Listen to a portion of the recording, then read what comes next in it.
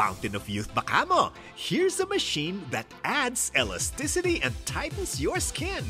Ilong na matangos at maganda, ma-achieve. Walang aray na kasama.